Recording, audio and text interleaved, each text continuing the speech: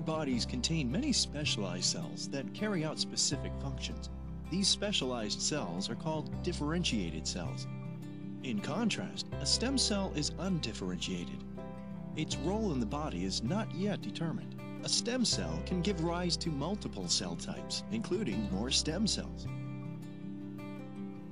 Stem cells play an important role in our bodies, from embryonic development through adulthood. Development begins when sperm and egg meet. This event produces a special kind of stem cell that has the potential to grow into a human being as well as a placenta, which will nourish the embryo as it grows. For the first few divisions, all the cells remain undifferentiated. Each one has the same potential as the fertilized egg. As development continues, a series of instructions or signals gradually limit each cell's potential differentiation has begun. One week after fertilization, the embryo, now called the blastocyst, looks like a lopsided hollow ball. The cells around the outside of the ball will form the placenta. A clump of cells on the inside, called the inner cell mass, will form all the cells of the body.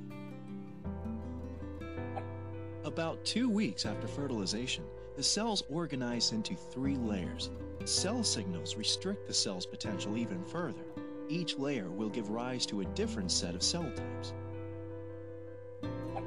A few weeks later, the cells of the outer layer, or ectoderm, have become skin, nervous system, and parts of the face and neck. The middle layer, or mesoderm, has become muscle, blood, blood vessels, and the beginnings of bones and connective tissue. The inner layer, or endoderm, has begun to form the digestive and respiratory tracts and the glands that feed into them, including the pancreas and the liver. As development continues, cells differentiate to form the 250 or so cell types of the body. But even after birth and into adulthood, pockets of stem cells remain. These somatic or adult stem cells play an important role in growth, maintenance, and repair. Some stem cells sit quietly, waiting for a signal to tell them to divide.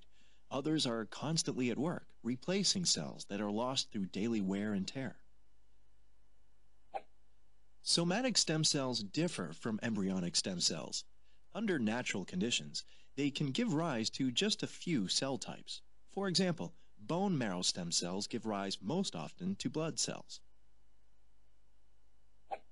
Bone marrow contains massive numbers of stem cells, but most somatic stem cells sit among large numbers of differentiated cells. Somatic stem cells have been found in many other tissues, including brain, blood, blood vessels, muscle, skin, teeth, heart, gut, and liver. As we grow from fertilized eggs into fully formed human beings, Stem cells give rise to all of our differentiated tissues and organs. Stem cells continue to play an important role throughout our lives as they help to heal and maintain our bodies.